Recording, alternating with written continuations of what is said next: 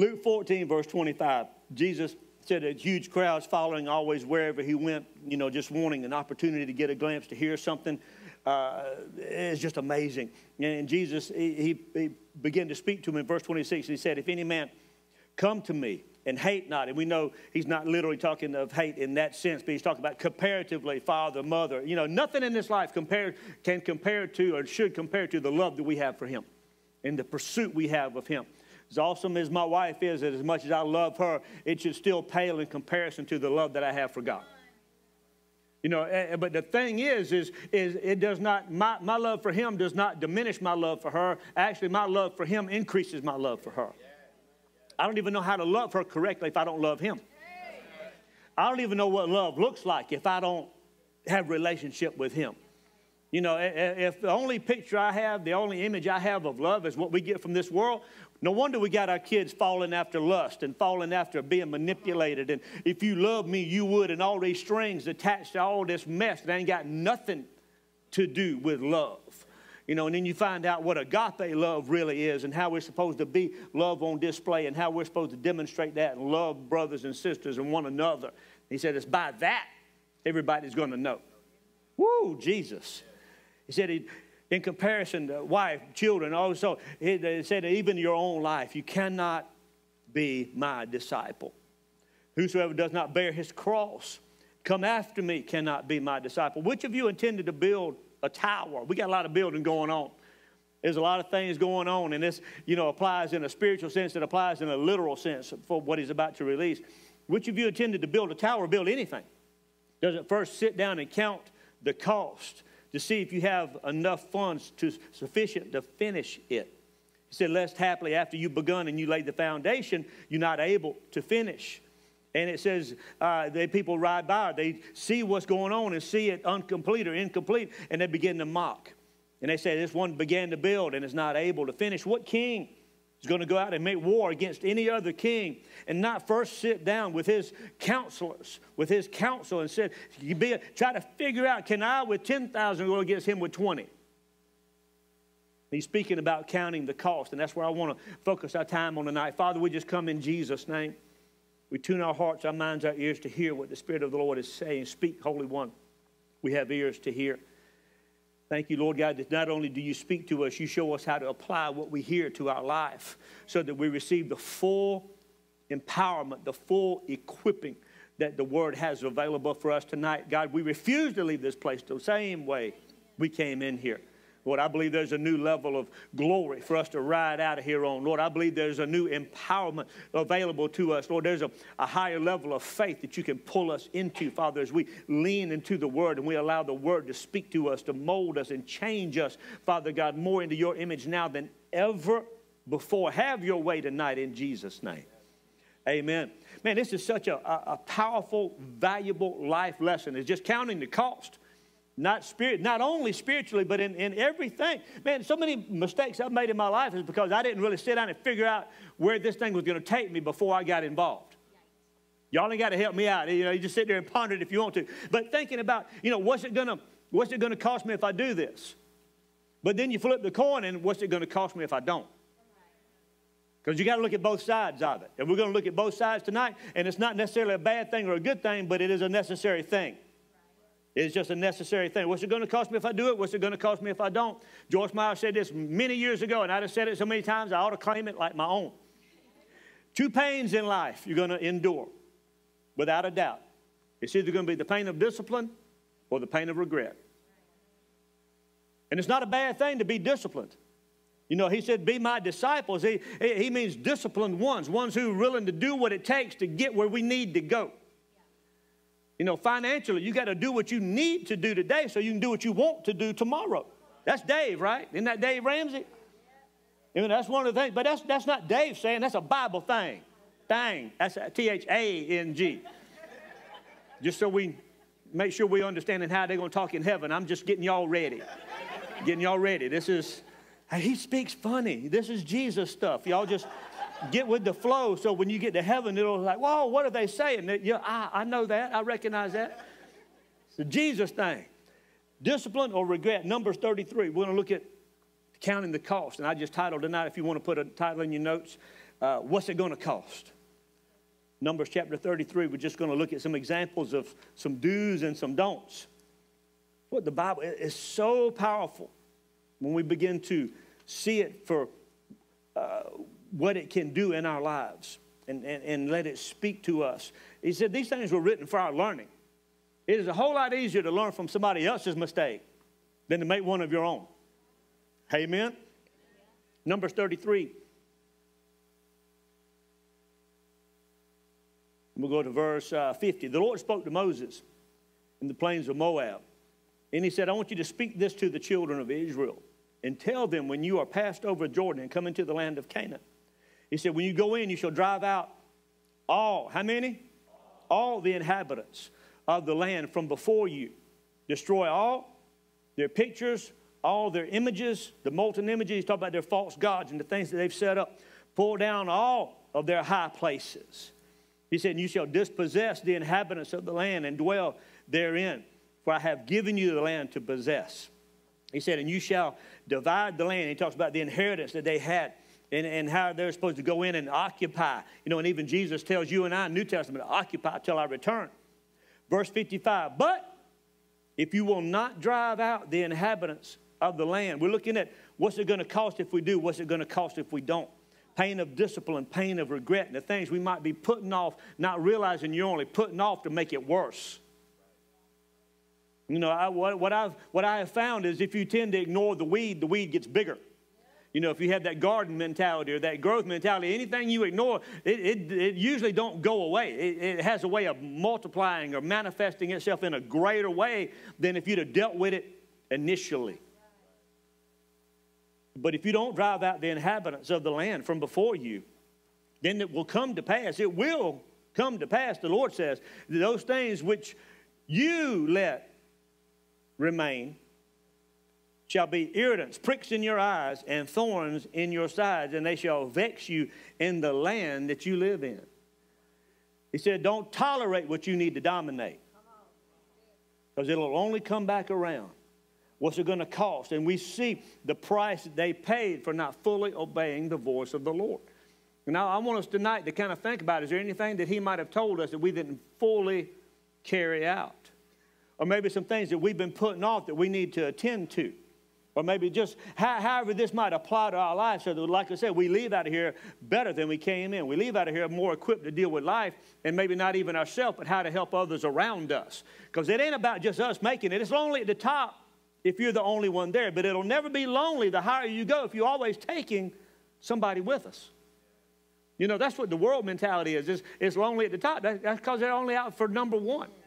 They're only out to seek and, and, and, to, and to serve self. As long as you have the benefit and welfare of others in mind as well, you ain't never going to be lonely. Because we're always going to have a crowd, right? So they're going to, they're going to, they're going to be thorns in your side and they're going to vex you in, in your in, they're living in the promise but being tormented because they didn't clear the land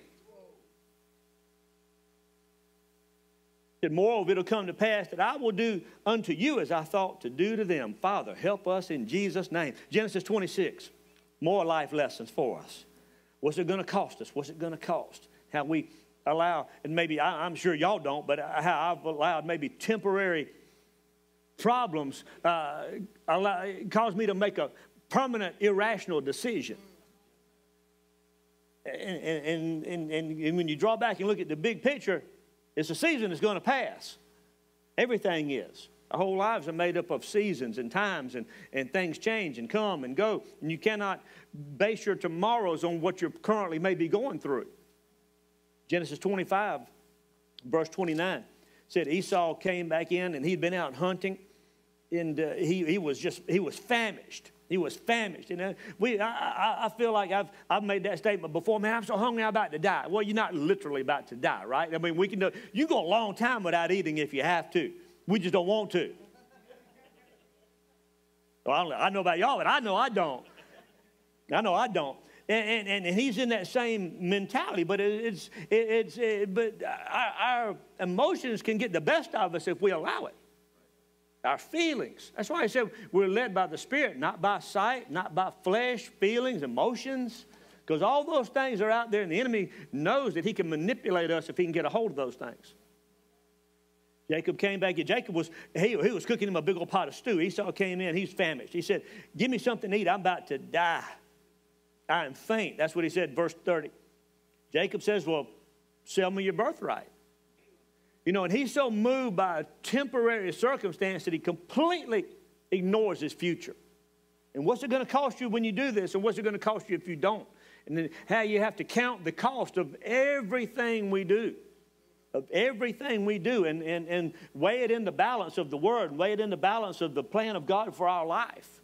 How's it going to affect us here? How's it going to affect us tomorrow? How is this going to affect my future or my children, my children's children? How's it going to position them or imposition them? Now think about Esau, and you know, had he, had he just thought for a moment, and, and we can all Monday morning quarterback, right? His life, it's written here so we don't make that mistake. God's basically putting this in here and saying, See what he did? Don't do that. right? See what he did? Don't write off your future. Don't, don't, don't, don't buy that big old house. It, ooh, I might be meddling now. Don't, don't buy that brand new car just because so and so got one and you think you had to have one. I, I told somebody just this evening, I said, I don't mind being the second one in the seat. They can pay that big old sticker. I'm not against brand new either. Now, don't get me wrong. I just, you got to do what God has for you to do. There have been times that God has purposely told somebody, you need to buy brand new because you got, a, you, got, you got me in a broke mentality, and I don't like it. God said, I can afford new if that's, what I, if that's my plan for you. Just be a good steward. Just be a good steward. You know, but there ain't nothing wrong with buying secondhand either. It's got to be what does He have for you? And he's, he's making this decision, which is going to, you know, I mean, we know because we're hindsighting it. He, he said, I'm about to die. What good is my birthright? If I die today, he ain't going to die today, but the devil can manipulate us. When we begin to be emotion led and feeling led and, and, and stuff led. Right? Stuff led. That makes sense? Stuff led. Got to have this, got to have that. It's amazing how, how as we grow in the Lord, priorities change. There's things I thought I had to have that I don't no more need now, don't want nothing to do with. But it's allowing the Lord to work on it. And I, He ain't perfected it in me. There's still, still stuff I get that I don't need. Y'all pray for me. Thank you, honey. That's my wife down here. If y'all didn't know, that. who's that hollering from the front row? That's my wife. Don't don't usher her out. I got to I got to take her home tonight. But now I got to, I get to, I get to, I get to. Wait, what, what, what? Whoop, whoop. I get to. There we go. All right. So, anyway, back to this stew story. Stew story. I like that. So he he he sold his birthright. And then it, it don't. We see we see the, the other side of the coin go to Hebrews 12. Because it's not enough to touch that side of it and, and let it be. We got to come back and see the other side of this.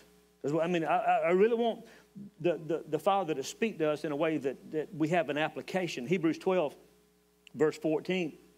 Follow peace with all men and holiness, which, without, which, without which no man is going to see the Lord. Looking diligently, lest any man fall from the grace of God, lest there be any root of bitterness spring up and trouble you and I. He said, thereby which many are defiled. He said, lest there be uh, a fornicator or a profane person as Esau, who for one morsel of meat sold his birthright. He said, and you know how that afterward, come on, say afterward. Afterward, when he would have inherited the blessing, he was rejected. For he found no place of repentance, though he even sought for it carefully with tears. Some things are gone and you cannot get them back. Oh, we, we living in grace, but I have seen a perverted message of grace. And I'm telling you what, it will never override the reality of consequence. You cannot, we cannot blindly fall on grace and use it as an excuse because the Father don't like that kind of abuse. Where's that line? I don't know, and I don't want to find out.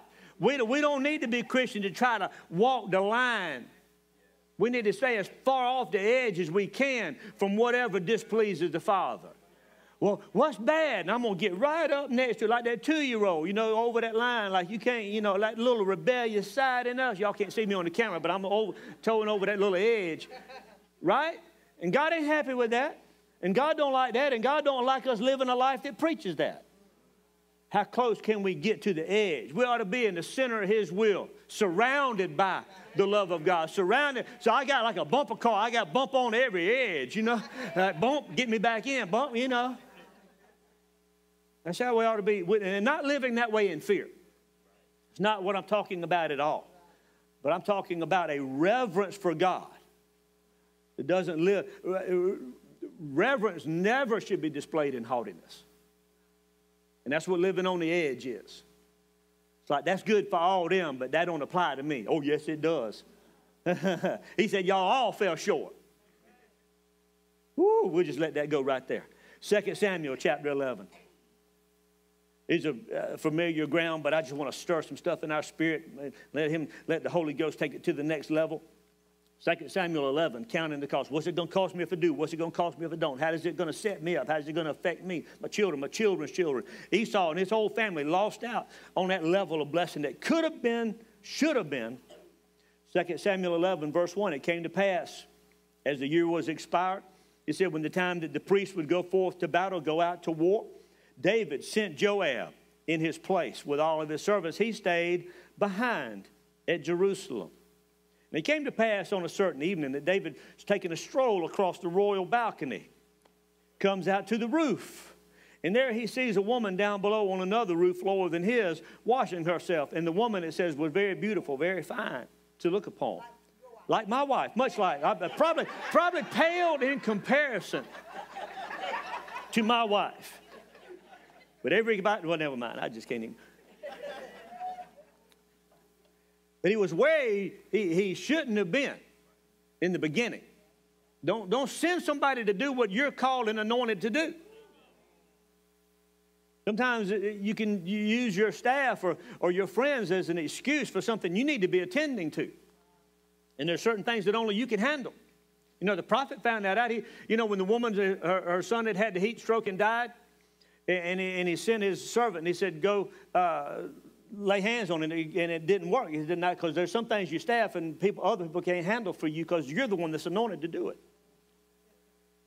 So David eh, comes back and wants to find out about Bathsheba, and we know this, but I want to see the consequence side of it. Flip over to chapter 12. In chapter 12, we'll go to verse 7. Nathan the prophet had given David this story about a guy who stole this uh, little sheep, and David got all upset, and the man ought to die. And, and Nathan says to him in verse 7, You're the man. Wow. That's what the Word does is allow you and I to see ourselves in the mirror of the Word, shows us what's really there. Thus says the Lord God of Israel, I anointed you king over Israel. I delivered you out of the hand of your enemy, Saul. He said, I gave you all of your master's house. Listen, listen, this is so powerful. And I, I really, I, I want us to understand that there's another level waiting on us if we just do it God's way. There's exceeding abundant above and beyond when we tap into God's way.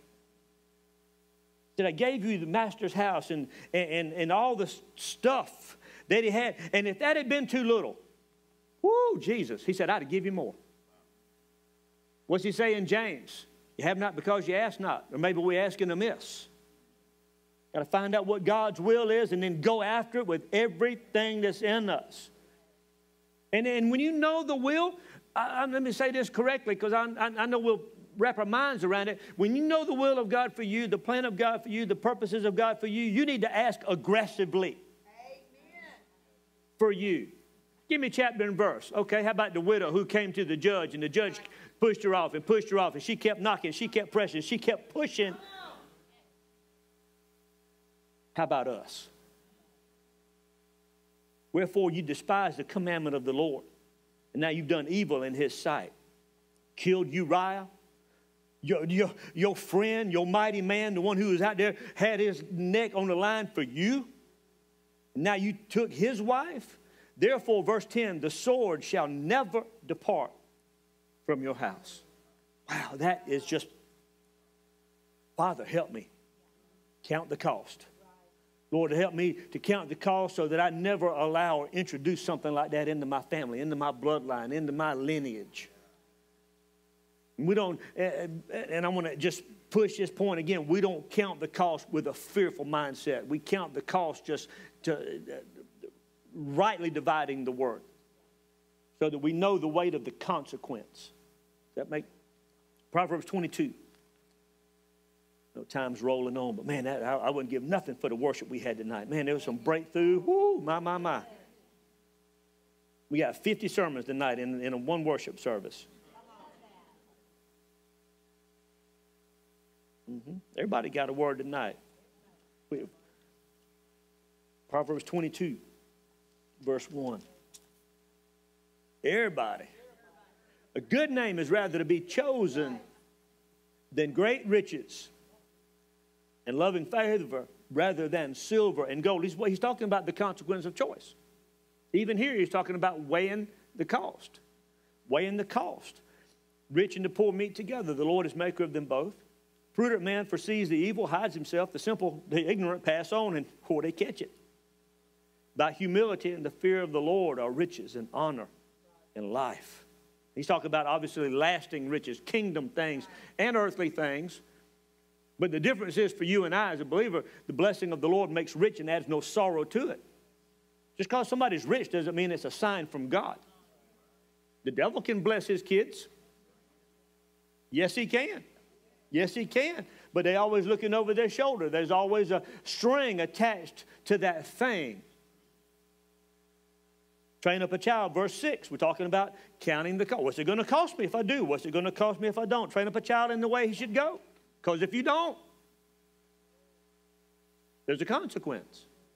There's a consequence. But when you do, even when he's grown older, he will not depart from it. The rich and the poor meet together. The borrower, servant to the lender. So iniquity, reap vanity. There's a consequence. Proverbs 14. Hang left and run over to Proverbs 14. Run it on over. Not literally. 14, verse 1. Every wise woman. Ooh, there's one down here. It's, y'all ought to say me too. There's a bunch of y'all in here, right? Every wise woman builds her house. Good, I'm going to take it easy for a while. Get to work, baby. Woo! but the fool pluck it down. He that walks with uprightness fears the Lord.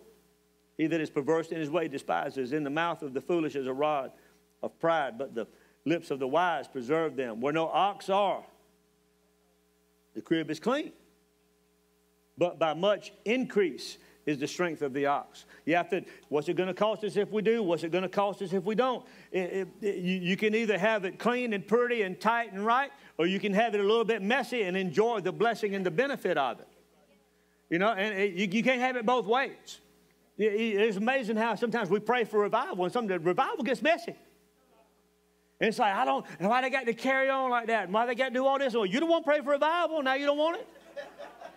I mean, just because it don't look like what you thought it was going to look like, you're going to throw God out the front door because it don't fit in your package? Or maybe when our kids get a hold of fire and it, just because they don't express it like we expressed it. And we want to start, you want the clean crib or we want the increase? And we got to learn how, it's amazing how sometimes you pray for what you pray for and then you don't like what you get, but you're the one to pray for it. Oh, God, I thank you. I, you got me a new job. And then you get fired the next day. God, why? Well, you asked for a new job and you were so set in your ways, I couldn't get you out. So I had to boot you out. Mm hmm. Yeah, is that too much? Is that, uh, y'all feeling that love? I, my brother's got a, a, business and it's flourishing, and, and, and, and we've had conversations before along these lines. And he said, because he started with just him and, and, a, and a mechanic that worked for him. And he said, Man, I remember me and Bubba, we'd sit on the tree stump, you know, working on a piece of equipment, just having our lunch. And he said, You know, and you think you ain't got a problem in the world, you're doing all things, but it, there's, there's a, con- not, and not even a bad consequence, it's just things come when you grow.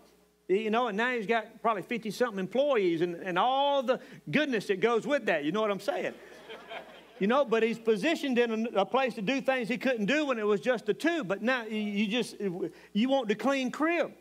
Or do you willing to take and count the cost? And it's like, Father, if you put me here, then I got what it takes to handle where I'm at. And that's the end of that. I mean, that's where we ought to be looking. God, if you set me up here, then help me see what I need to see so that I can do what I've been called to do. And understand it. Sometimes we're just we're irritated by that level because we haven't grabbed the grace that we need to be at that level. And it's not God's fault because He said, Come boldly before the throne to obtain mercy and find grace to help in time of need. And sometimes we've got the position, but we forgot to pick up the grace along the way which is the oh yes that's the empowerment that's the equipping that's the wherewithal to do what we need to do when we've been positioned in that place and i'm telling you ooh and, and just counting the cost like i said that was with you know with his business or whatever it is and I just jotted some notes down so I don't forget to kind of jog all our memories to expand uh, or, or, expand and expect or whatever it's going to be. Married or, or be single and counting the cost. And it's amazing how sometimes people will get in a place where they got married and, and, and didn't get, get counsel, even though we recommended to get counsel and you didn't get counsel. So you, you may get blindsided by some things that are of reality that hit you. It's like now you got toothbrushes, two toothbrushes in the holder. You know, you might have white spatter spots on your mirror. And it's like, well, you wanted to get married and you didn't count the cost.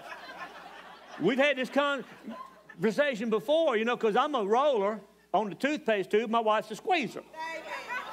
Well, we're just giving a little help tonight. And somebody gave us a little gadget that you slide the end of the toothpaste tube in and you just roll it up. Now, yeah, Joyful did. Yeah, you the second one they gave us. We got an abundance of toothpaste rollers. And uh, so I'm going to sell them on eBay. So, yeah, no, I'm kidding.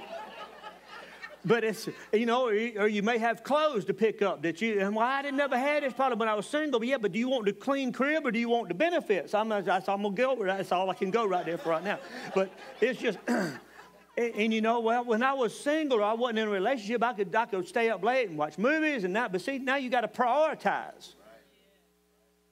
And it's, and it's everything in life. And I'm not saying one's better. Uh, of course, I kind of tend to like being married. But I'm just, you know, if, if that's not where God wants you, then don't go there. Don't go there. Don't go there just because everybody else is going there. We, we, we, we have to be at the place where we only go where God opens up the doors.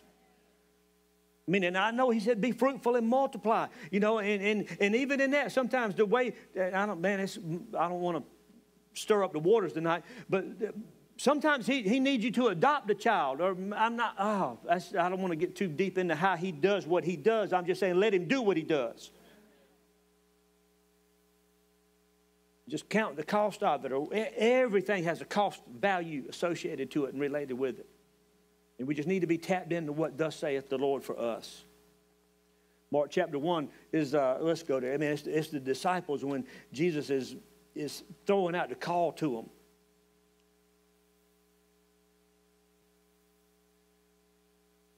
Mark chapter 1, verse 16.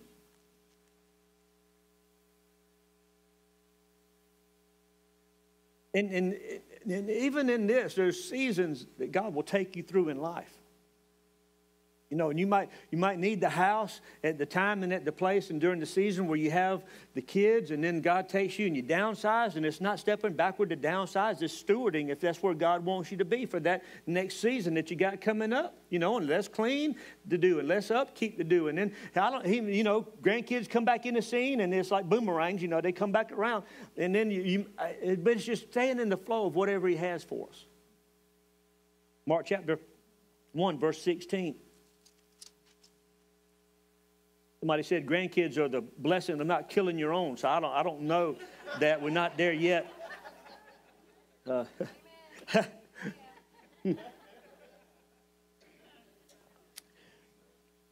that when Jesus was walking by the Sea of Galilee, said he sees Simon and Andrew, his brother, and they're, they're fishermen. They're casting a net. He says, Come after me. I will make you to become. I'm so glad he, he, he was very purposeful in, in, in what he wrote to us. Because there, are so many things I look at my life and say, man, I ain't there yet. And then I see where it's, it's becoming and it's a process. Now, I know we're saved, but it's then, then it's that, that, that, that process that he takes us all through and from glory to glory and, and, and working on us and knocking off the rough edges. And man, I just want to encourage somebody tonight that don't get frustrated in the process and don't get frustrated in the journey and don't don't, don't allow the devil to, to, to get you to a place where you're so ready to give up because you hadn't arrived. Because I got news for us tonight. We ain't going to arrive on this side of heaven.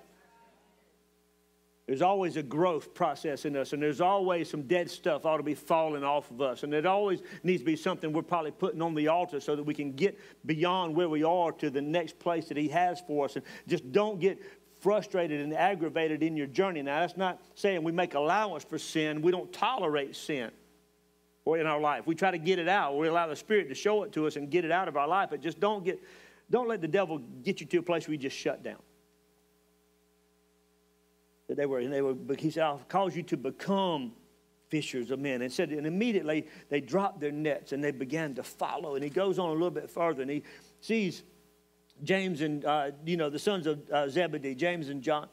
And uh, they were also in the, in the ship and they were mending their nets. And he called them and he said, immediately they left their nets and they left their father. And I'm, I'm thinking of, the, of what they left behind and counting the cost and what would it cost them if they did and what it, where would we be if they hadn't have. And I'm so glad that somebody went before me and blazed a trail and did what they did and made my life easier and made my path a little bit easier and gave me some things to look at and live by and some examples. And how about all of us?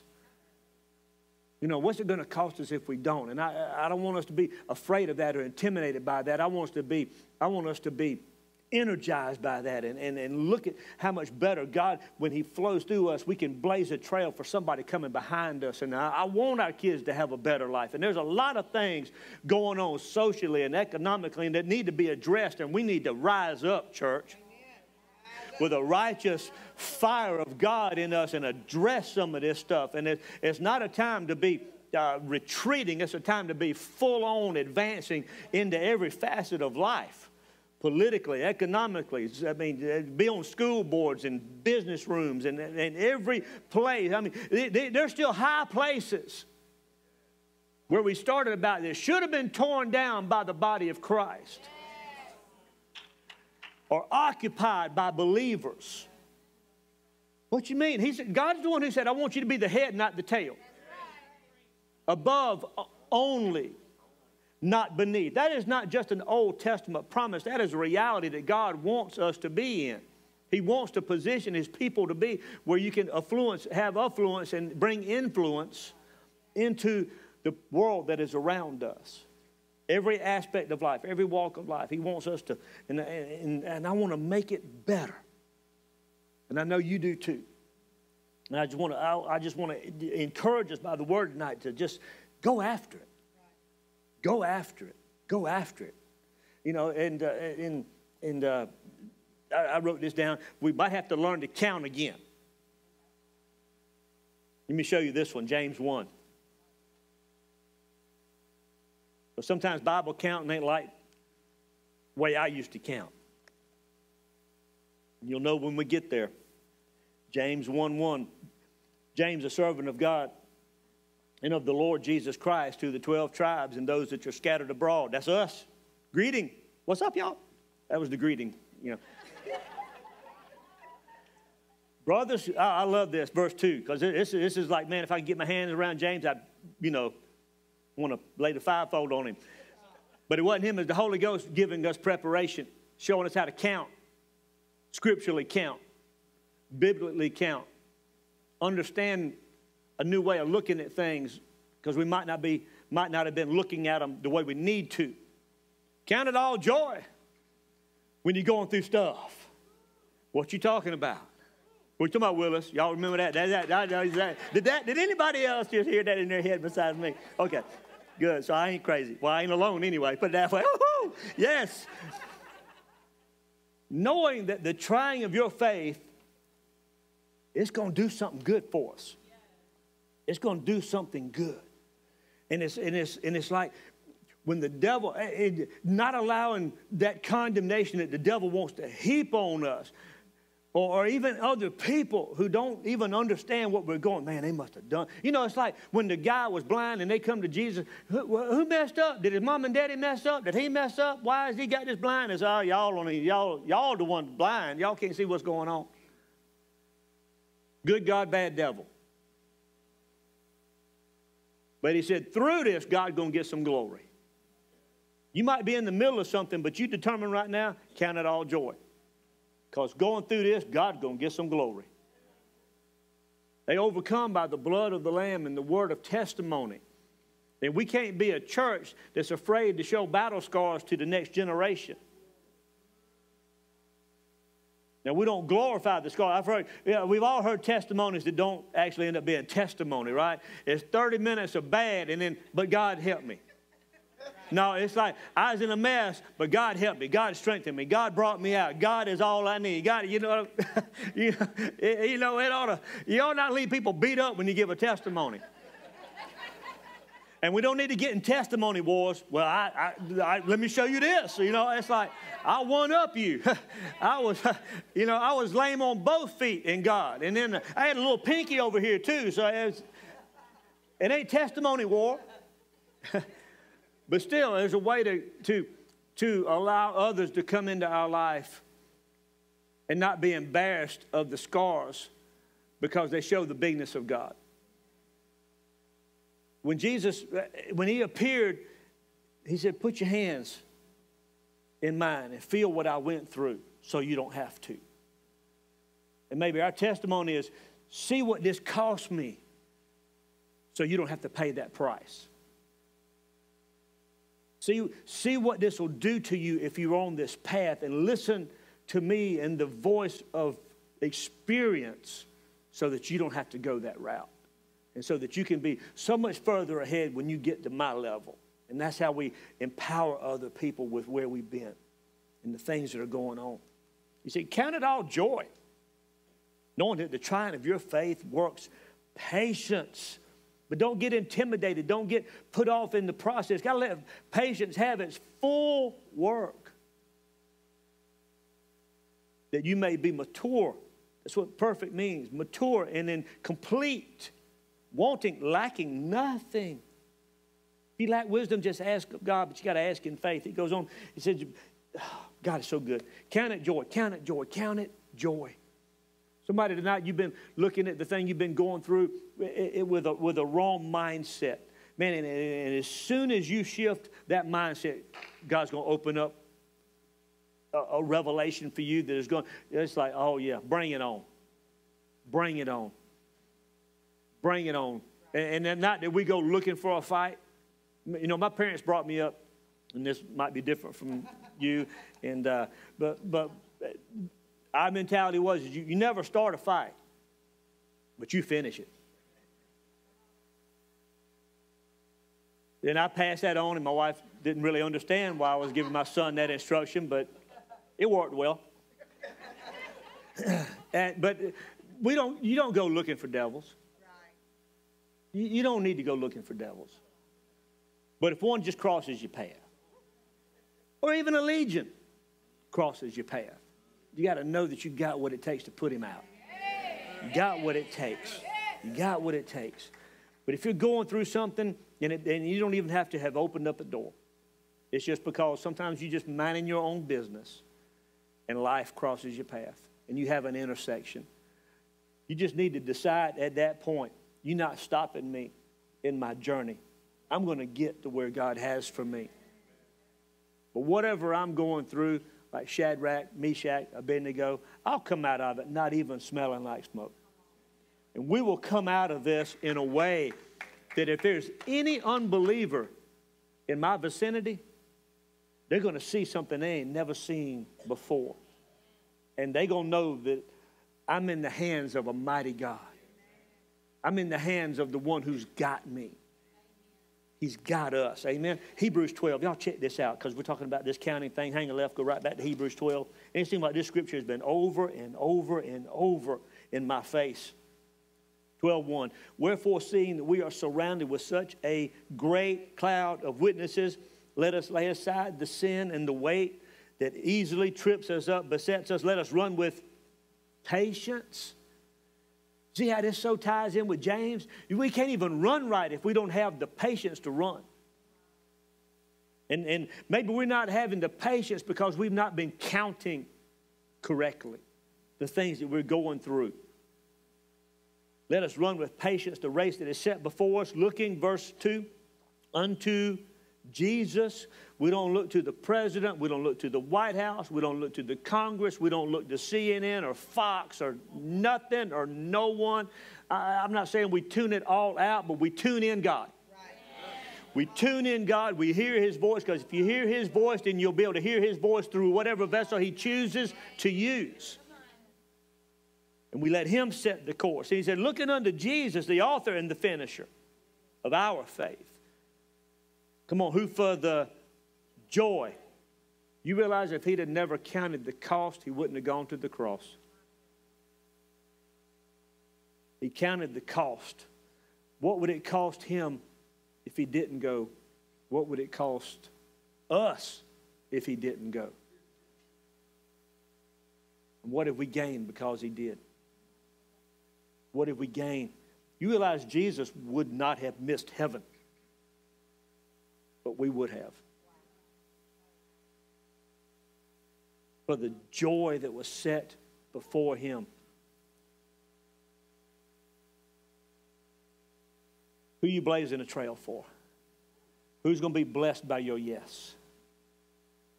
Who, whose, whose life is going to be better because we learn how to recount and see it in a new light and in a new way? A way that brings God glory in every single thing we do. That's, that's, the, that's the end game we want to be at. Amen?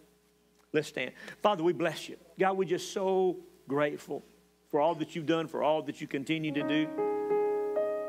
Lord, I thank you for the spirit of revelation that's been released in this place tonight.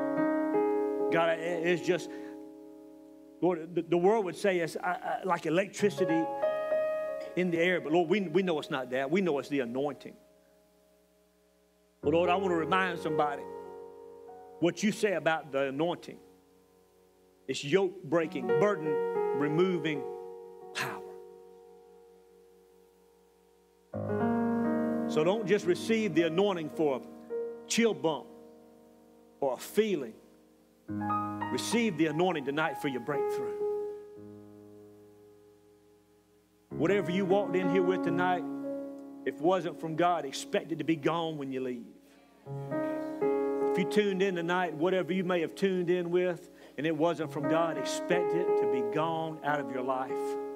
Because that's the power of the anointing. And that's the thing that God desires to release over every single one of us. And not just to us, but through us. Father, we receive it, we declare it, let it flow in Jesus' name. Amen. Thanks for joining us today on the New Life Everyday YouTube channel. Be sure to hit the subscribe button to receive the latest messages from Pastor Bryan and the New Life team. If you enjoyed today's message, be sure to share this video with a friend.